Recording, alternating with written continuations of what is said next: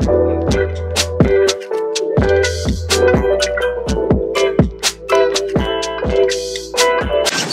everybody, it's Nessa and Gabby with It Takes Two, teaching couples on how to grow stronger, faster, every day.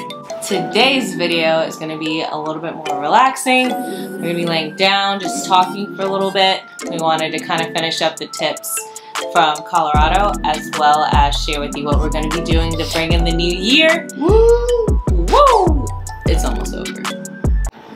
I don't know if I'm feeling this view. Alright, so we found a spot, finally. Kind of has lighting Kinda. because we didn't bring our light to record this video, so it's a struggle.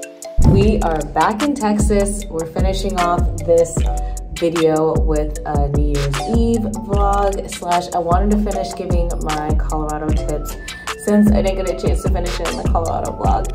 but the second tip I wanted to give you guys when traveling to Colorado is to buy the right brand and to wear plenty of layers. Um, but I wore North Face and some small brand that was in Colorado. It did not keep me warm, unfortunately. North Face was super good when I lived in New York, but for Colorado, when it's 10 degrees outside, negative one degrees, it was just not keeping me warm at all. And I'm gonna be completely honest with you guys. Um, it just wasn't. When I lived in New York, North Face worked out great, but Colorado, no, did not work out at all. Tip number three is to get your nutrients when you're in Colorado. Since you're at such high elevation, you can get them quote unquote munchies. So my go-to snack was hot Cheetos, not the healthiest, but it did keep me through just being so hungry all the time. But yeah, just making sure you get your nutrients. I did buy a lot of fruit while I was there, um, getting your greens in, um, making sure you're getting a lot of protein. Um, just a lot of protein is really good and the healthy carbs. But make sure you get your nutrients so that your body is able to bounce back a lot faster, um, especially if you're doing activities like snowmobiling, skiing, snowboarding, snow tubing, even just walking out in the snow. It does take a huge toll on your body, so that's why the nutrients is super important to have right before review our goals and hit 2021 running. So.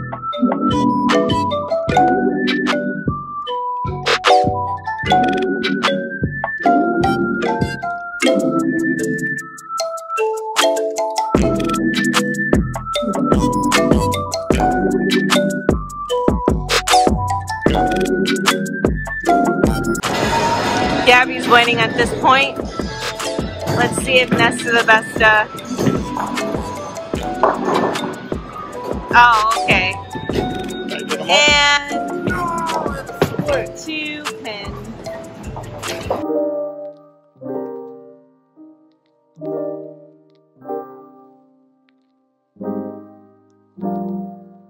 Yeah.